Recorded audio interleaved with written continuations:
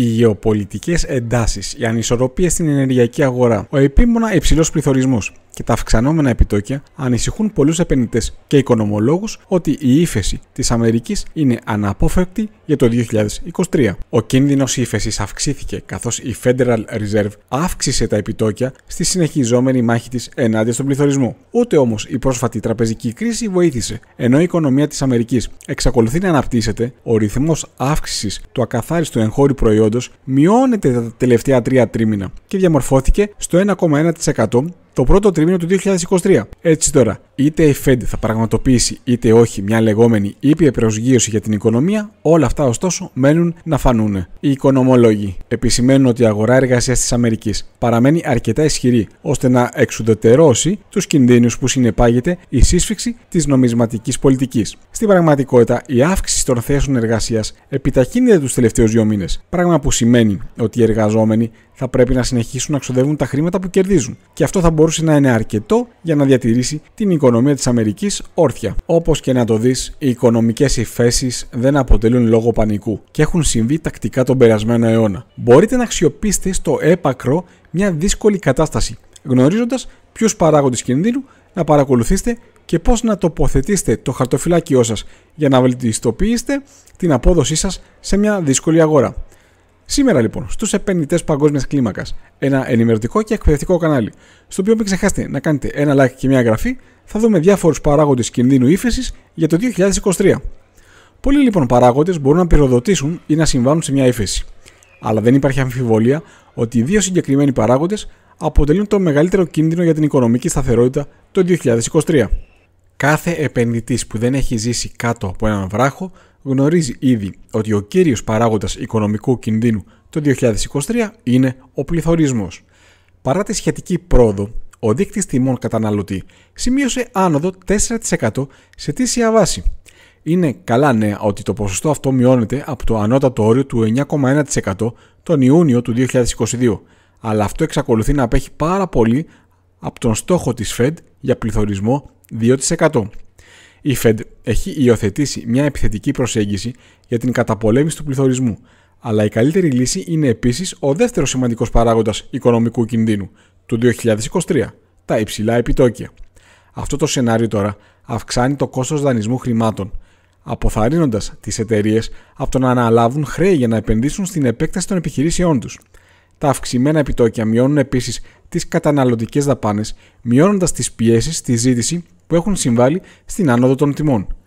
Από τον Μάρτιο τώρα του 2022, η Federal Reserve άρχισε να εφαρμόζει μια σειρά από επιθετικές αυξήσεις επιτοκίων για να στοχεύσει τον πληθωρισμό. Μέχρι στιγμής η Fed έχει αυξήσει το εύρος των επιτοκίων στόχου των κεφαλαίων Fed από ουσιαστικά 0 στο τρέχον εύρος μεταξύ 5 και 5,25%. Η αγορά τώρα αναμένει ότι η Fed θα διατηρήσει αυτό το εύρος μέχρι τα τέλη Ιουλίου, όταν μπορεί να αρχίσει να αυξάνει ξανά τα επιτόκια.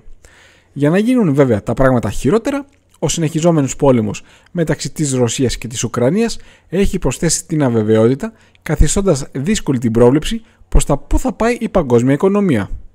Ο πληθωρισμός τώρα και η αύξηση των επιτοκίων δεν έχουν εσύρει την οικονομία της Αμερικής τουλάχιστον ακόμα στο κόκκινο.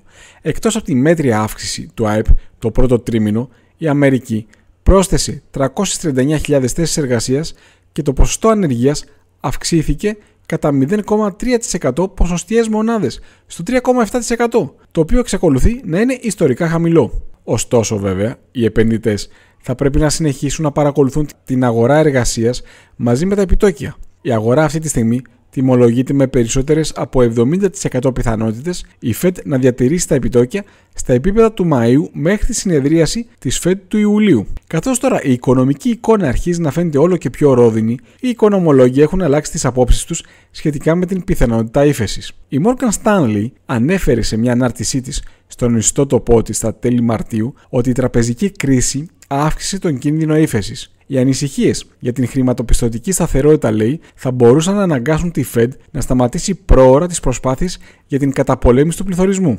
Γεγονός που θα μπορούσε να προκαλέσει στάσιμο πληθωρισμό. Αλλά η εταιρεία άλλαξε το ρυθμό της και τα λεγόμενά της, λέγοντας την περασμένη εβδομάδα ότι η Αμερική θα αποφύγει την ύφεση φέτος. Η Morgan Stanley προέβλεψε επίσης ότι τα επιτόκια θα παραμείνουν στα τρέχοντα επίπεδα μέχρι τον Μάρτιο του 2024, όταν αναμένει ότι η Fed θα αρχίσει τη μείωσή τους. Η Goldman Sachs τώρα αναθεώρησε την περασμένη εβδομάδα την πρόβλεψή της σε 25% πιθανότητα ύφεσης στους επόμενους 12 μήνες από το προηγούμενο ποσοστό που ήταν στο 35%.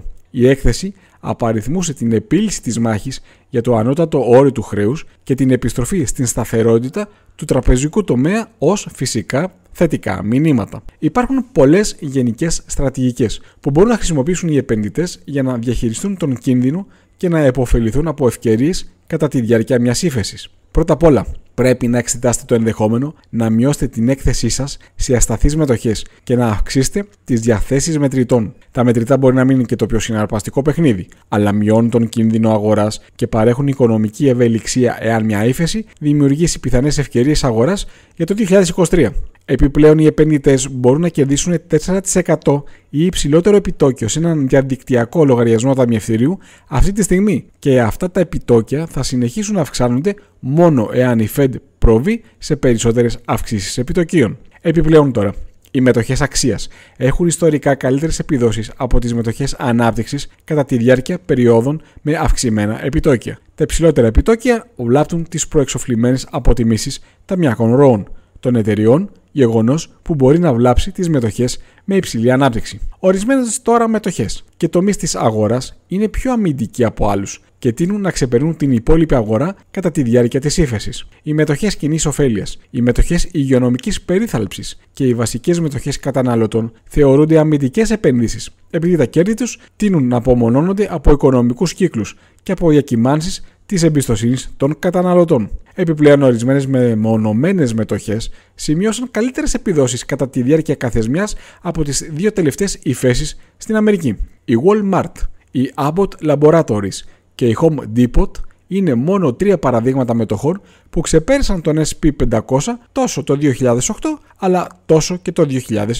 Οι επένδυτες θα πρέπει επίσης να επωφεληθούν από μια πιθανή ύφεση το 2023 και να προετοιμάσουν τα χαρτοφυλάκια τους για το φως που βλέπουν να έρχεται στο τέλος της σύραγγας το 2024 και μετά όμως. Οι αγορές κοιτάζουν μπροστά και αυτό σημαίνει ότι θα μπορούσε κάποιος να υποφεληθεί από το να κοιτάει μπροστά στον επόμενο κύκλο, όσον αφορά φυσικά πάντα το χαρτοφυλάκιό του. Σκεφτείτε, ποιοι κλάδοι τα πηγαίνουν καλά από νωρίς σε μια οικονομική ανάκαμψη, τα χρηματοοικονομικά, τα ακίνητα και η τεχνολογία. Οι επενδυτές μπορούν να ακολουθήσουν μια διαφοροποιημένη προσέγγιση σε αυτούς τους τρεις τομείς της αγοράς, αγοράζοντας αμοιβαία κεφάλαια του κλάδου SP 500 ή ETF, όπως είναι το Financial Select Sector SPDR Fund, το Real Estate Select Sector SPDR Fund και στον τομέα της τεχνολογίας τον Technology Select Sector ταμείο το SPDR.